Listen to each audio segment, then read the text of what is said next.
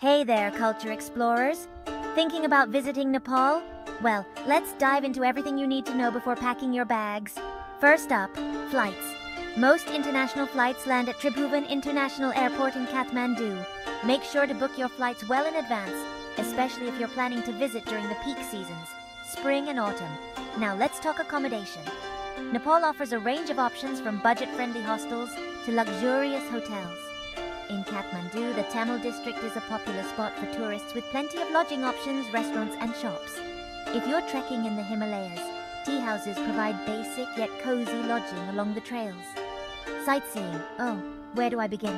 Kathmandu Valley alone boasts seven UNESCO World Heritage Sites. You've got to visit Swayambhunath, also known as the Monkey Temple, for stunning city views.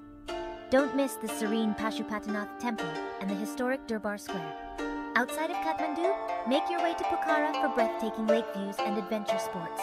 And of course, if you're up for the challenge, trekking to Everest Base Camp is a bucket list experience. Culture and customs, very important. Nepal is predominantly Hindu and Buddhist, so respect local customs and traditions.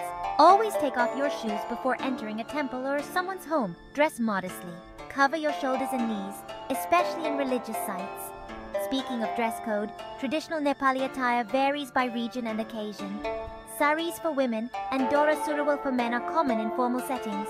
But on the streets, you'll see a blend of traditional and modern clothing. Foodies, you're in for a treat! Dal bhat, a lentil soup served with rice, is a staple in Nepalese cuisine. Momos, Nepalese dumplings, are a must-try. And don't forget to sip on some masala chai. It's the perfect way to warm up after a day of exploring. A few quick tips before we wrap up. Always carry some local currency, the Nepalese rupee, as cash is preferred in many places. Tap water isn't safe to drink, so stick to bottled water. Lastly, don't forget to haggle at markets. It's part of the fun and culture. So there you have it, a quick guide to visiting Nepal.